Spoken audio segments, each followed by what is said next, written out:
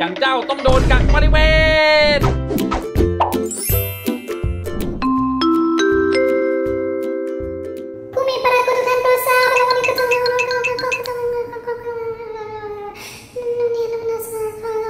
อย่างพูดอีหยังว่าฟังไม่เห็นพูดอะไรอะเอาฟังไม่เห็นพูดอะไรก็ไม่เรื่องฟังไม่เห็นรู้เรื่องเลยก็วันนี้ก็จะเข้าก็จะ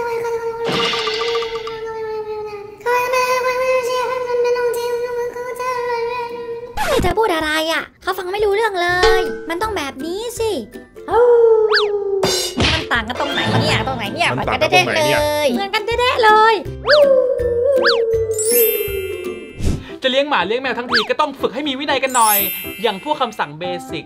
ให้ฉี่เป็นที่หรือว่าให้ไม่ทำลายข้าวของเนี่ยจำเป็นมากเลยครับ จะได้เลี้ยงหมาอย่างมีความสุข สิ่งที่ต้องเตรียมก็คือแผ่นรองฉี่วางประจำจุดต่างๆ ช่วงแรกๆเราก็ต้องหัดเป็นผู้สังเกตการณ์ที่ดีสักหน่อย ถ้าหากเราเห็นน้องหมาทำท่าจะฉี่ให้รีบดุเอ๊ะแล้วอุ้มไปวางบนแผ่นรองฉี่ สำหรับหมาตัวใหญ่เนี่ยผมฝึกให้ขับถ่ายนอกบ้าน โดยช่วงแรกก็ต้องปล่อยออกนอกบ้านเป็นเวลา แล้วก็ปัญหาหลักๆอีกอย่างเลยคือสมาชิกใหม่ที่เข้ามาชอบกัดแทะเฟอร์นิเจอร์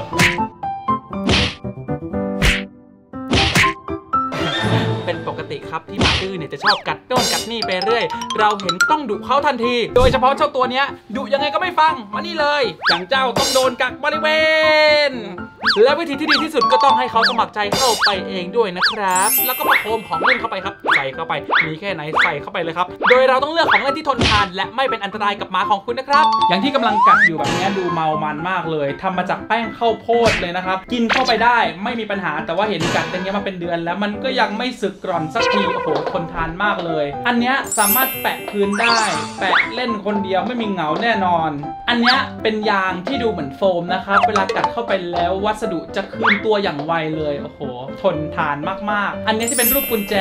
ก็สามารถคล้องเล่นกับน้องได้ หรือว่าจะดึงชักกระเยอะกันก็ได้ อันนี้จะเป็นเหมือนจานบิน มีรูตรงกลางสามารถใส่ขนมเข้าไปได้ วัสดุเนี่ยทำมาจากยางอย่างดีเลย กัดให้ตายยังไงก็ไม่ขาด แล้วก็ยังมีแบบอื่นๆ อีกเพียบ สามารถเข้าไปดูได้เลยทาง Facebook Fanpage Comfy Comfy Thailand เพียงแค่นี้คุณก็จะเลี้ยงหมาได้อย่างแฮปปี้ไม่เป็นภาระของคุณอย่างแน่นอนครับ